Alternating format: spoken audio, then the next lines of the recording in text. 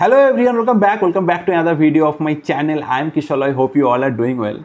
So from the thumbnail, I hope you get to know about the topic of today's video. So in this video, I'll be talking about few skill set that you must learn before joining into IITs and IISc for your MTech curriculum. Now there is a disclaimer, this is not a generic video for all the streams. Rather, this is a dedicated video for the students from computer science engineering branch or some related branch like AI or CDS. So there are few skill set if you know them or if you learn them now prior to joining uh, to these institutions, your life will be a bit easier. So this will be an add-on or this will be give you an edge in your MTech days uh, in these institutions. Obviously, your part of the struggle will be there. You still have to do a lot of struggle there uh, during your coursework. But if you know this uh, skill set, that will help you in different uh, courses that you'll be taking there. So I'll be talking about this skill set uh, in this video and that will be all about this video. So if you want to know in detail about it, please stay tuned in the video till end and please like this video if you have liked it. And if you have if you haven't subscribed my channel yet, please subscribe it and hit the bell icon so that whenever I upload a video, you will get instant notification. Without further ado, let's start into today's video. The first thing that you must learn is the mathematics. I hope you know all of you have done some sort of mathematics during your undergraduate days but you know that level uh, is not sufficient now because you will be joining to IISCs and different IITs which are top institutions in our country and I hope you understand their level. Their level is far above than your undergraduate uh, you know college uh, which is maybe a tier 2 or tier 3 colleges. So that's why during your MTech you have to do a lot of mathematical derivations and proofs and for that you need a very strong understanding of the basic mathematics that is there in your undergraduate days and especially if you're focusing on the theoretical machine learning part or you know ml or ai part then math you can't ignore. Uh, if you are focusing on system then maybe you can ignore mathematics a bit. But if you're focusing on the other two things like theoretical um, uh, computer science or machine learning or ai domain then mathematics you must do. So that's why you you you start brushing up your concept that is there uh, in the mathematics. If you're interested to work in theoretical computer science like algorithm complex theory or graph, graph theory or maybe cryptography. So these areas if you're interested in, then your knowledge on the discrete math will be very much needed. So I'll recommend you that please go through uh, the discrete math subject that is there in your undergraduate or uh, whatever you prepared during your GATE uh, preparation also and brush up your knowledge in the discrete math that will be needed for you. And if you are interested to work in AI or machine learning domain then your knowledge on linear algebra, probability and calculus will be needed. So that's why you must brush up your knowledge on these uh, subjects. I know all of you have done some sort of linear algebra probability during your gate preparation but frankly speaking that is not enough. You must learn a bit more now in order to excel in AI and machine learning domain. So that's why I'll give you some reference from where you can study these subjects. Uh, from for, for linear algebra, you can refer to Professor Gilbert Strang video that is there in uh, YouTube. That's an excellent video and I, I know I hope all of you know about it. So you can refer to that video and that will give you a strong intuition about the subject which will be helpful for your MTech days.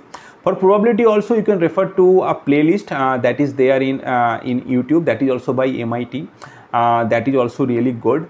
And for calculus you can refer to the uh, the book that you have referred uh, during your undergraduate days or for during your gate preparation days.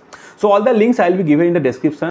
So these are the things that you must prepare. So the math is a math will play a very big role in your mtech days if you are looking for ai machine learning eh, domain or theoretical computation. So that's why i'm telling you that please go through the basics of mathematics very well so that you know when the professors at IITs and IISc will go in the advanced level you won't struggle in the basic part. The next thing that i recommend you to learn is basics of machine learning. I know in all of the iits wherever you will be joining uh, in your mtech curriculum there will be a machine learning course uh, and and there will be advanced machine learning course as well.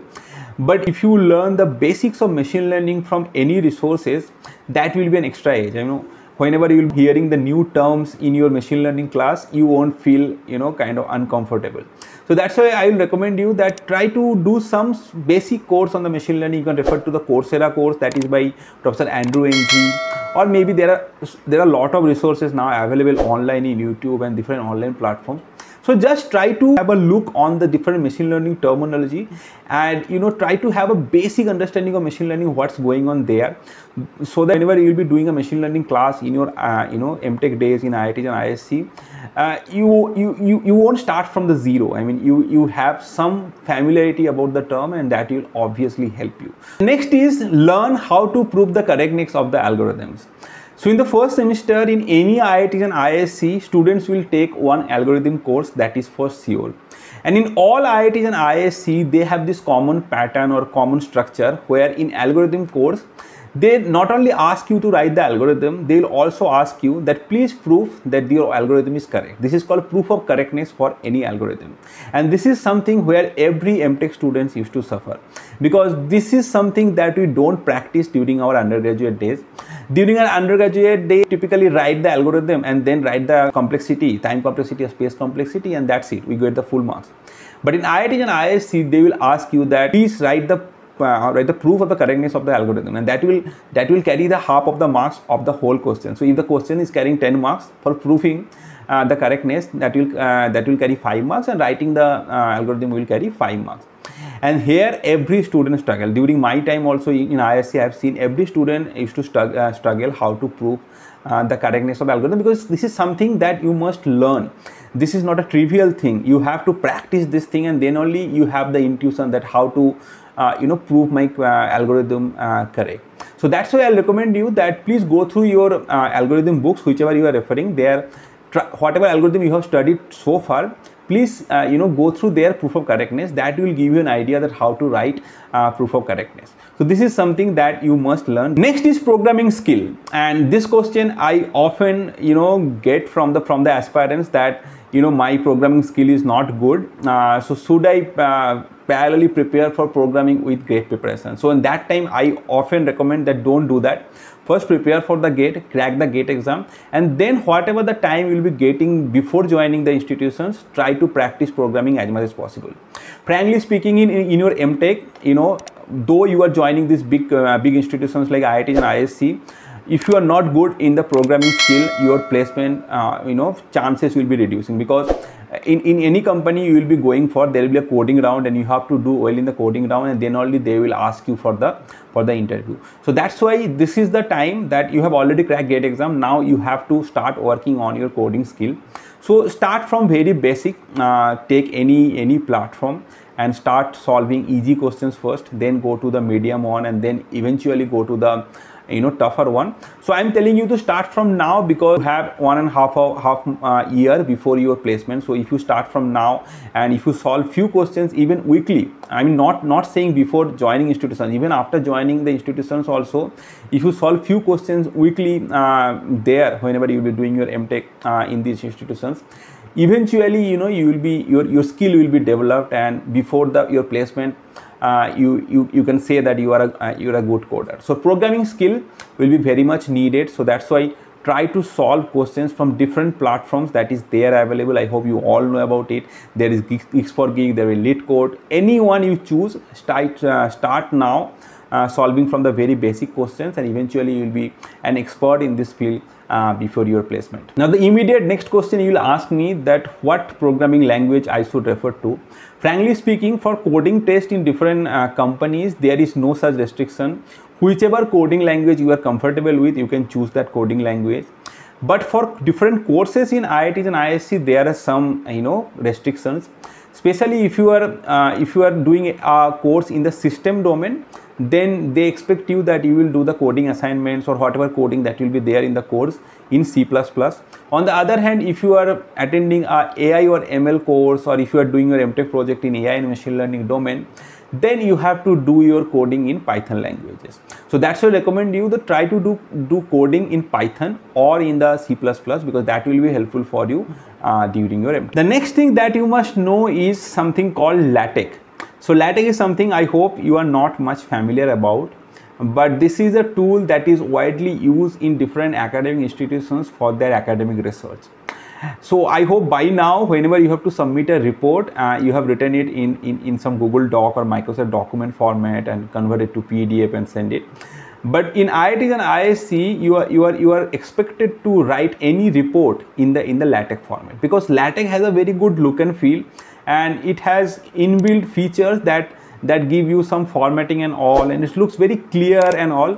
So that's why all the all the all the professors they expect you that whenever they they're giving you any assignments you are submitting the assignments in in in a latex format. So you you can't write in the google doc or if you you, you can't just write in the paper and take a scan and send. So that is not that is not allowed. You have to write everything in the latex and then only you have to submit. So that's why you must learn uh, latex for sure. And latex is a very easy easy things to learn. I mean it's not that difficult. So there is a standard website that is available that is called overleaf. So the link i'll be giving in the description. You can go to overleaf and you can try um, for few days and you will be knowing how to use that. And there are very there are many templates also available there. So if you just click on the uh, new project so there will be a lot of templates available and whichever templates you want to uh, use you can use it. And one more thing you know during your placement whenever you will be building your cv or resume there also latex will be helpful because in iits and IISc all the students they used to create the cv in latex only. If you go to my web page also whatever cv i have uploaded there that is also made in the in the in the in the uh, overleaf or latex and you can see how how good it looks. That's why latex is a must thing and i always recommend you that you you forget about google doc and all and start learning latex so that you can write all of your report during your mtech days in latex next thing is github. Uh, this is something i hope many of you know about and many might not be knowing about uh, so GitHub is a rep repository where you can you can put all of your uh, code uh, so that you know you can share the link with the others. So this is a cloud-based uh, repository where people used to store their uh, you know code base and then they can use it. So no need of storing your code into your local system. Now Git has few commands like how to add a file into your GitHub repository, how to commit uh, how to push, how to pull uh, your, your repository, how to clone the repository. So there are many things that is possible and there is a well, uh, you know, documented website that is there uh, for GitHub commands. So I'll, I'll recommend you just just you know have a hands-on on the on the git repository try to make a dummy dummy uh, project and try to push it to the uh, github because you know in any courses where there will be a programming assignment or projects uh, your your instructor or your professor will ask you that you you give give me the github repository so then you have to uh, give him the link uh, for where your uh, code base is uploaded and even during your placements also in the cv uh, whatever project you have done uh, you will be given the link of the repository wherever it is uploaded. GitHub will be very much needed during your MTech days, during your coursework as well as during your placement also. That, that's why I'll tell you that uh, please have a have a have a look in the github comment. Finally i'll tell you that whoever is using windows as of now try to give up it and move to linux because linux will be much more recommended for you for your academic academic research. And also you know try to know very basic linux commands. Uh, because you know in in any academia whatever server that will be given to you that will be linux based server and you must know how to connect to server you know how to copy files from your from your local system to the uh, linux system. And there are many other things how to uh, make a make a directory how to copy files how to create files.